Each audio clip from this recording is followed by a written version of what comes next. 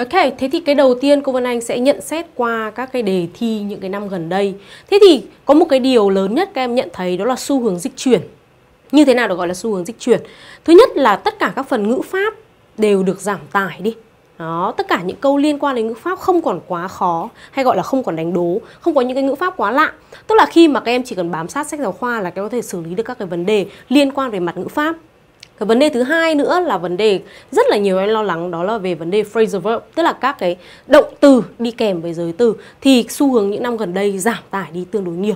Đó. Thế nhưng song song với cái việc đó thì phần bài đọc và phần từ vựng lại được tăng lên khá là nhiều. Em nhận thấy bài đọc có những bài được trích ra từ IELTS tức là một cái trình, một cái trình độ tương đối là khó khăn và yêu cầu các em một cái sự đọc hiểu lớn đó thế thì bây giờ chúng ta hãy xem xem là trong cái đề này người ta yêu cầu mình những cái vấn đề ngữ pháp gì đó, và những cái từ vựng gì liên quan đến bài đọc các em nhé.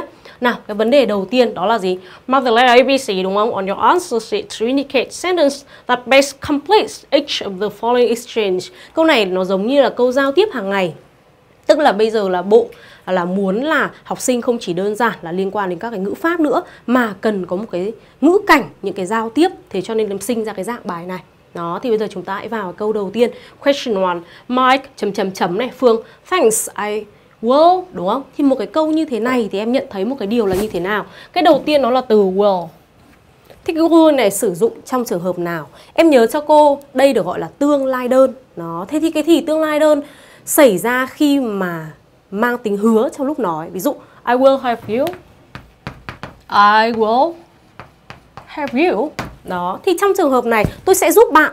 Tức là người ta chưa lên một cái kế hoạch cụ thể gì hết, mà người ta hứa ngay trong cái lúc nói đó. Đấy thì được gọi là tương lai đơn. Thế thì khi ở trong trường này, world, tức là cái này người ta đang mang tính chất hứa hẹn.